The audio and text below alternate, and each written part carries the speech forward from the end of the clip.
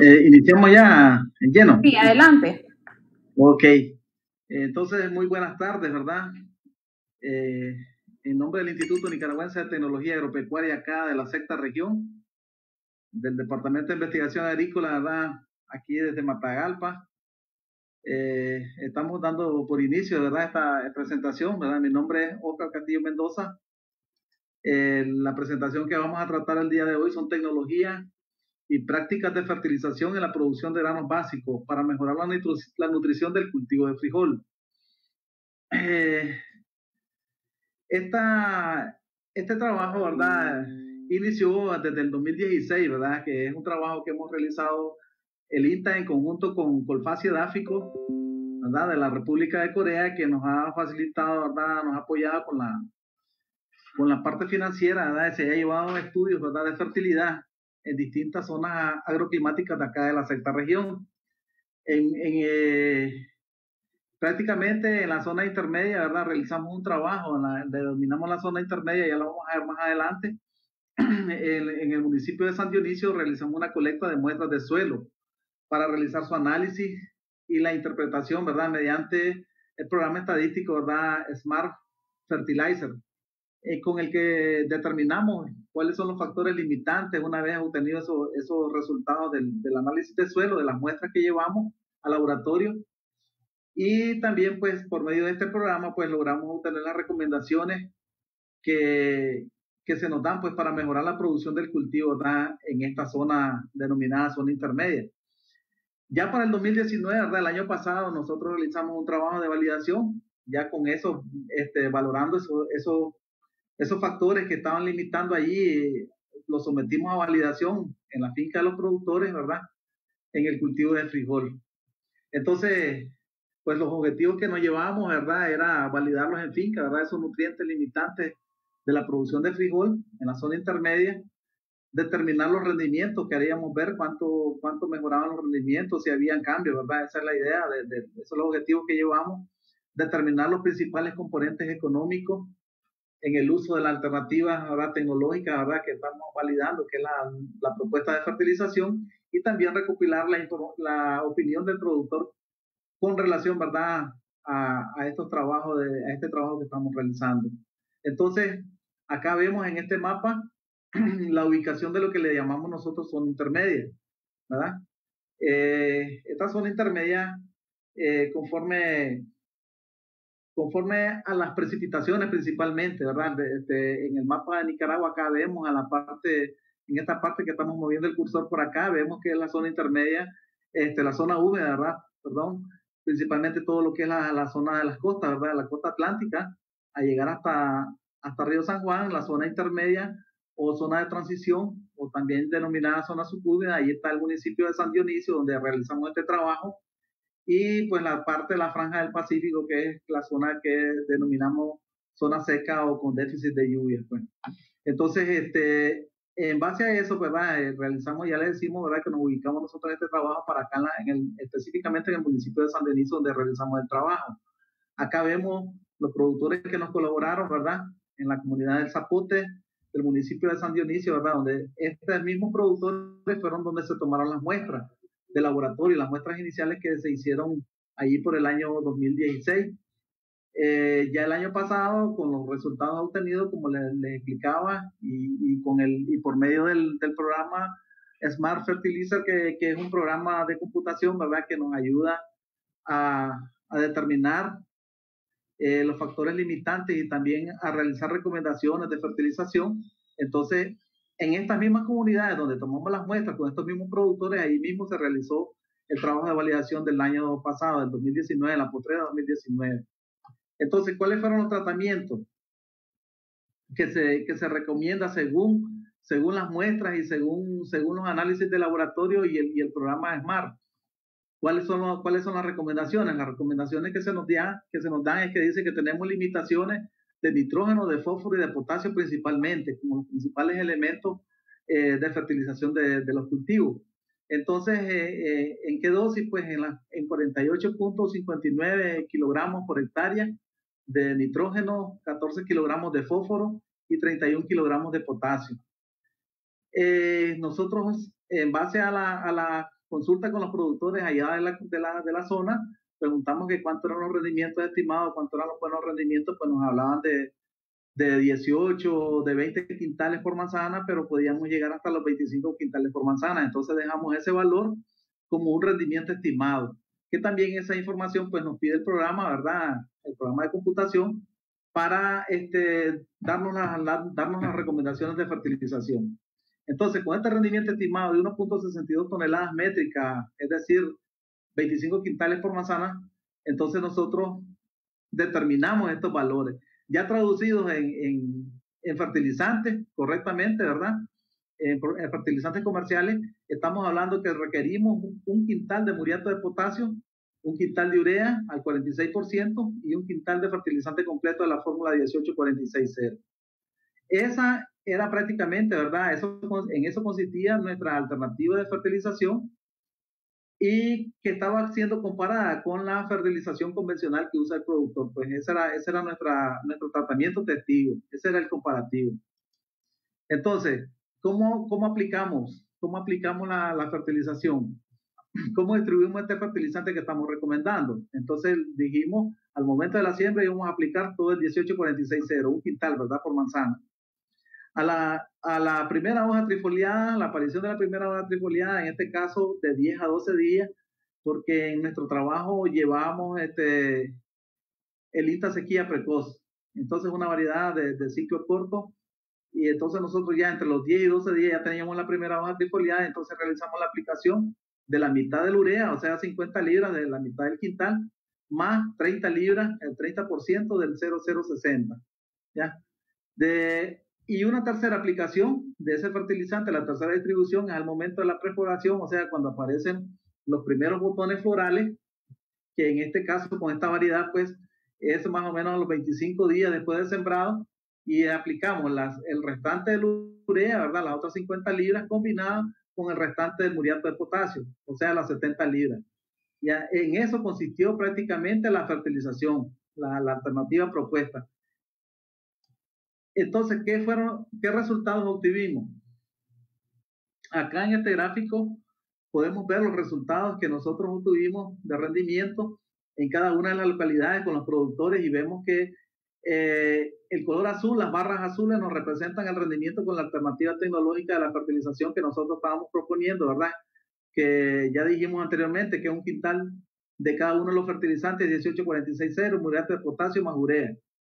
Entonces nosotros llegamos a obtener hasta 33 quintales por manzana en las mejores condiciones, en la, mejor, en la mejor localidad. Eh, sin embargo, vemos que en las cinco localidades donde nosotros hicimos este trabajo, donde llevamos esta prueba, todas superaron las que llevaban fertilizantes en la propuesta, en la propuesta que estábamos validando, fueron superados con relación al rendimiento que se obtuvieron en, en el manejo, en el testigo que aplicaban los productores. Vemos acá, por aquí pusimos unos números, ¿verdad? Por ejemplo, este, este es el que daba menor rendimiento en el caso de la, de la parcela fertilizada y sin embargo, pues obtuvimos 14 quintales por manzana versus los 10.6 quintales por manzana en el caso del manejo convencional del productor. Así como vemos acá la diferencia bien marcada de 19 quintales en el manejo convencional del productor que realiza el producto de la fertilización convencional versus los 33 quintales que se lograron obtener ya con la fertilización propuesta, con la alternativa de fertilización propuesta. Entonces, eso en cuanto a rendimiento, también acá vemos, en esta gráfica lo que estamos viendo es la relación que tenemos de costo-beneficio, de los costos variables versus los beneficios netos.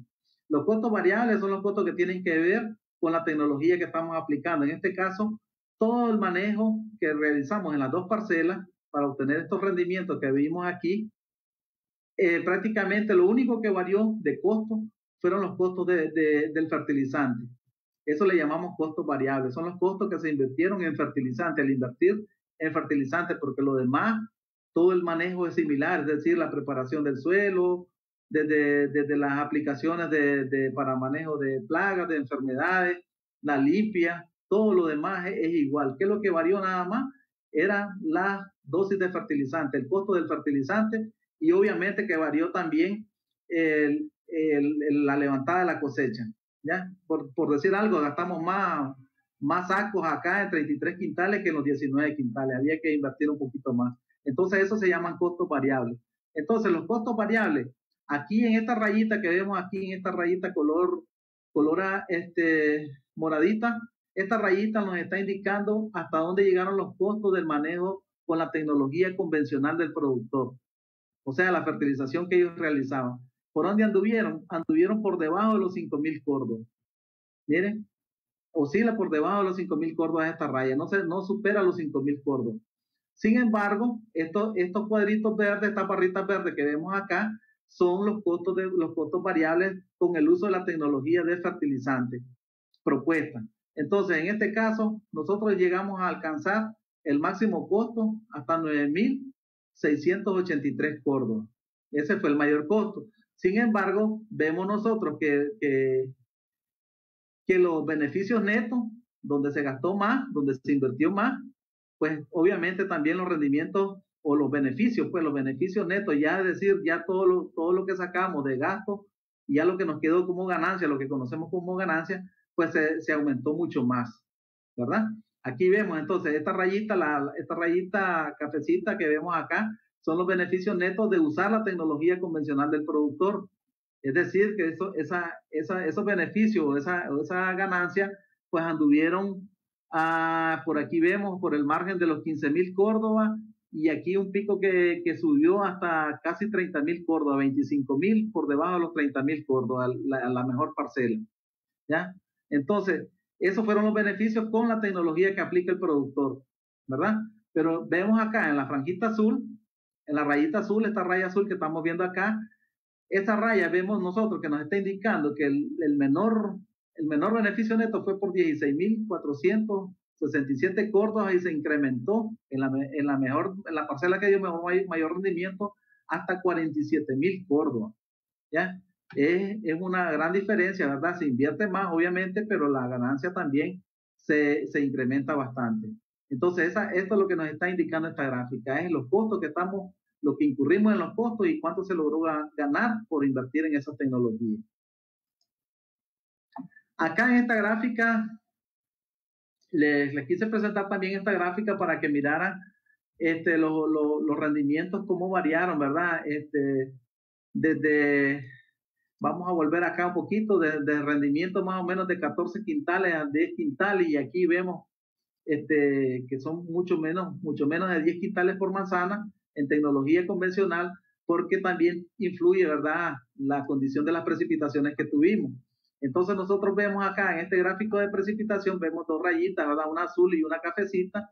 En esta gráfica, en esta rayita café, lo que nos está indicando es la demanda, la, la demanda del cultivo, ¿verdad? La demanda del cultivo. ¿Cuánto demanda de lluvia? La demanda de lluvia, la precipitación que tenemos para el cultivo de frijol. Estos, estos numeritos que vemos acá son cada 10 días, ¿ya? Los primeros 10 días de septiembre, del, los segundos 10 días y, y el último 10 días del mes, y así cada uno de los meses, ¿verdad? Estas parcelas se establecieron en la primera semana de septiembre y se cosecharon en la primera semana de diciembre. Entonces vemos nosotros, de manera general, vemos que tuvimos bastante lluvia al comienzo, una buena lluvia, y después volvió a caer una buena lluvia allí por, por, por, mediados de octubre. Después de ahí, solo para abajo y prácticamente, es decir, al momento del llenado, de llenado de vaina, de, de la formación de grano, nosotros tuvimos un déficit de lluvia. ¿Por qué? Porque aquí esta, esta cafecita, ya les, les, les digo, es lo que estamos demandando de lluvia el cultivo, lo que demanda el cultivo. Y vemos acá que está, ¿por dónde está? Por debajo, muy por debajo de lo que demanda el cultivo. Entonces prácticamente eso también nos ayudó a que los rendimientos pues fueran bastante este, modestos, diríamos así, ¿verdad? Que no fueran los mejores rendimientos. Entonces, sin embargo, la tecnología de la fertilización pues funcionó porque ya vimos en el gráfico anterior los rendimientos. Bien, entonces, ¿qué conclusiones obtuvimos de este trabajo? Nosotros las conclusiones que llegamos es que con los, que los rendimientos alcanzados en el cultivo de frijol, ¿verdad? Con la fertilización basada en 48 kilogramos de nitrógeno, 14 de fósforo y 31 kilogramos de potasio, es decir, ya dijimos en, en, términos comunes, ¿verdad? Un quintal de cada uno, de 18,46,0 de urea y de muriato de potasio. Eso, esa fertilización en el cultivo de frijol para esta zona intermedia contribuye al incremento de un 206%. Es decir, duplica el rendimiento obtenido en promedio, ¿ya? En esta zona agroclimática intermedia. Entonces quiere decir de que la, la, la propuesta de fertilización no funcionó porque prácticamente logramos duplicar el rendimiento. Eh, otra conclusión que tenemos nosotros de este trabajo que realizamos es que los beneficios netos también se incrementaron en casi, casi este, el 50%, pues un 43% de rendimiento, ¿verdad? De beneficios netos se obtuvieron eh, al aplicar esta nueva tecnología. Y la tasa de retorno, que quiere decir, esta, la, tasa de retorno nos está diciendo aquí que de un 162%, es decir, que nosotros por cada peso invertido en aplicar fertilizantes obtuvimos ese peso, recobramos ese cordo invertido y obtuvimos 1,62 todavía de ganancia. ¿Ya? Es decir, que es una, una buena propuesta. ¿ya? Por lo general, nosotros cuando decimos que obtenemos al 2 por 1, eh, este, consideramos que es una sencillo, decimos que es una buena inversión. Y en este caso, nosotros estamos obteniendo por cada, por cada Córdoba, obtenemos el mismo Córdoba que invertimos y obtenemos 1,62. ¿ya? Entonces es una muy buena inversión. Eso nos indica este, este indicador de tasa de retorno. Además, este, pues nosotros teníamos este, pensado, ¿verdad? También nos propusimos ver la, la opinión de los productores y lo que nos dijeron ellos es que consideraban muy factible, ¿verdad? El uso de esta tecnología, de esta nueva alternativa de fertilización en el cultivo de frijol ¿Verdad? ¿Por qué? Por, por, por, desde el punto de vista del incremento que se obtuvo en el rendimiento, lo que ellos observaron en cada una de sus parcelas, porque como les digo y lo vieron en la, en la gráfica anterior, cada, cada parcela, aunque fuera bajo el rendimiento, siempre el rendimiento con fertilización fue mucho mejor que el rendimiento del manejo convencional que ellos aplican. Entonces, ellos consideraron eso como, como muy bueno, además de que valoraron de que la, la, tecnología, ¿verdad? Que se está que se, que se está aplicando, la propuesta que se está aplicando, no es compleja de uso, pues no es ninguna tecnología complicada eh, que tenga limitantes para aplicarse, porque simplemente este, es una nueva modalidad, una nueva propuesta de, de, fertilización, pero no lleva ninguna complejidad, simplemente es la distribución en, en los distintos momentos.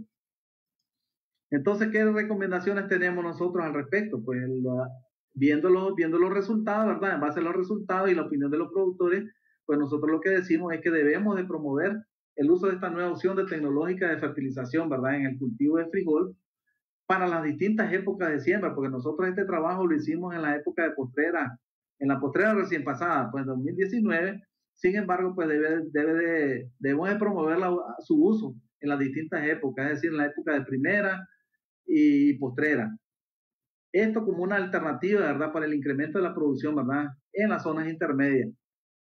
Es lo que nosotros tenemos, ¿verdad?